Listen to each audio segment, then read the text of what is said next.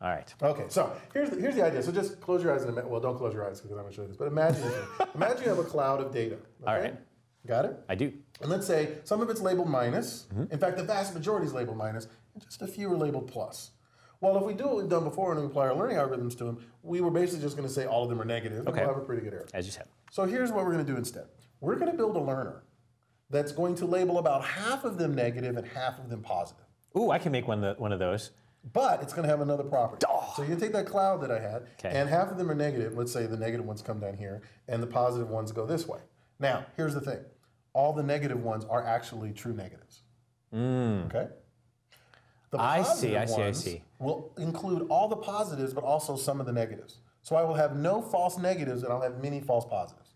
So in the causing trouble in the airport example, you would, like half the people, you would say these people are not a threat, and just be right on those. Yes. But the other half, you might say these could be a threat. Or even say they are a threat, and you'll be wrong for most of them, but all the ones who are threats will survive that filter. I see.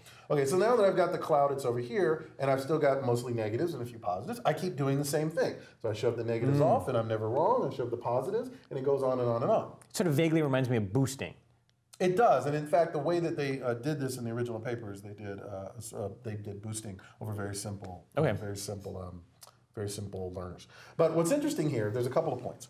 One is I started out with this big cloud, mostly negatives and a few positives. I kept cutting it in half, Okay. and by the time I got over here, I have a much smaller set, and now it's balanced. Ah. So now half of them are negative and half of them are positive. Because we keep separating the chaff from Right. the wheat.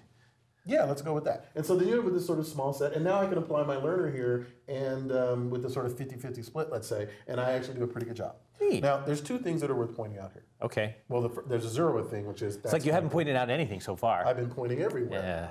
Now, here's the other thing. Now, here's the cool thing. Notice that as I go from this data over here to the smaller, and smaller, and smaller and smaller, if I'm right and I get about half the data surviving the filter, Mm-hmm. then I could actually put twice as much learning energy in each level. I'm pretty sure we didn't study learning energy. Well, I think energy. it was computational effort, All right. right?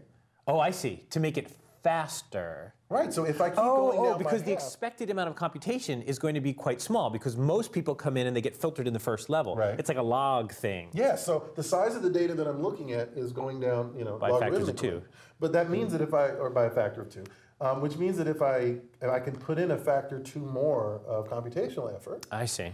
and you know, big O, it's going to be the same, Neat. right? So I can basically do something stupid, less stupid, less stupid, less stupid, and by the time it gets in, I can do something actually rather sophisticated, Ah, which I couldn't apply over here because it would take too much computational I see. effort. Again, the expected cost would be tremendous, but here the expected cost, the change in expected cost is very small because very little of the data actually makes it all the way through that pipeline. Right, so that's point one. Um, point two is I now have this series of learners, and over here I've got a nice learner that does a really good job of separating everything out. Mm. But you'll notice that if I took that learner, you might say, well, well, let's just take this learner, Yeah. and I can just apply it from the very beginning. I mean, after all, now that I've learned the learner, it's not computationally painful. I can usually I can. Oh, I see, because the classifier is fast even if the learning process fast, was, right? okay. And that's really good, except it will do terribly.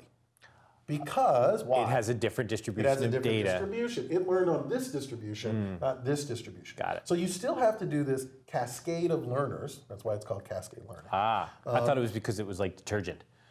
It is like detergent. It scrubs out. I, I don't know enough about the cascade commercials to, to make a terrible pun here, but All right, let's uh, substitute terrible pun here. ah, it leaves drops that spot. Right, that's the whole. Oh, yeah, thing, yeah, right? yeah. So all the spotting stuff comes over here. You think of those as drops that spot, and then you get sparkling clean.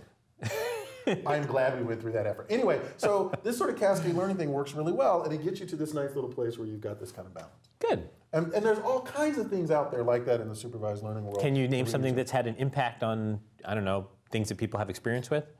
Uh, what do you mean? My understanding is that they use some version of this in handheld cameras when they actually find, put a little box around your face. Oh, I didn't realize that. Well, that makes sense because the original work, in fact, was was uh, in exactly that space. It was sort of doing Finding your face, finding a face, yeah. right.